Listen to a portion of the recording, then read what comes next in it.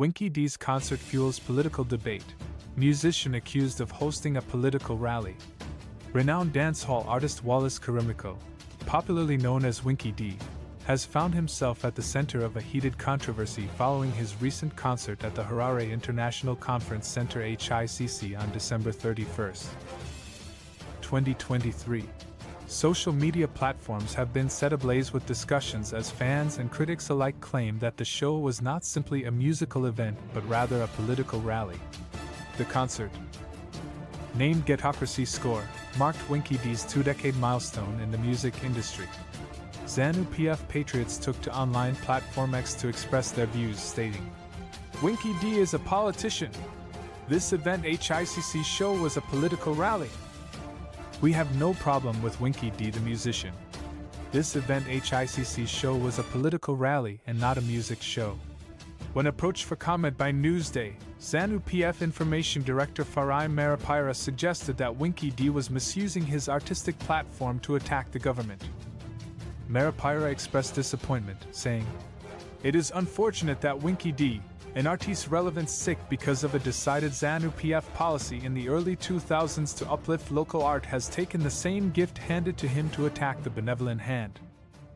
Marapira further emphasized that while freedom of speech is valued, Winky D's decision to delve into political matters during his musical performances allowed others to comment on his actions. He also hinted that Winky D's foray into politics could be an attempt to regain attention and boost his declining musical career. Nevertheless, he assured that ZANU PF, as a political party, would respond to such actions within the boundaries of the law. As ZANU PF, we promote and appreciate freedom of speech as it is a tenet we went to war for. However, as one exercises their right, they must also appreciate that others will exercise their right to comment on the same. That being said, Winky D used a musical platform once again, as we now note he does at every album release to delve into political matters.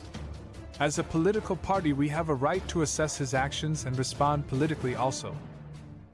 Of course, as always within the tenets of the law. Let it be also known that as his musical star wanes, he has decided to delve into politics to hopefully get attention and more views on his ailing musical career.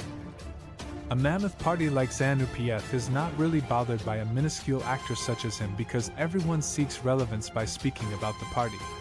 Marapira said. In response to these allegations, Winky D's manager, Jonathan Banda, dismissed the claims, asserting that the concert was purely a musical event. Banda stated, I have not yet seen the tweet, but in simple logic, does Winky D fit in the category of being a musician? The answer is a resounding yes. Winky D, like any other musician, organized a musical show, and there is no way we can call that a political rally. This is not the first time Winky D has faced criticism for delving into politics through his music. His album release in January 2023, titled Eureka Eureka, drew controversy. With the ZANU PF aligned group calling for a ban on his music, citing dangerous lyrics. Notably, Winky D collaborated with hip hop artist Holy Ten on the song Ibotso, which Holy Ten distanced himself from later, expressing regret for his involvement.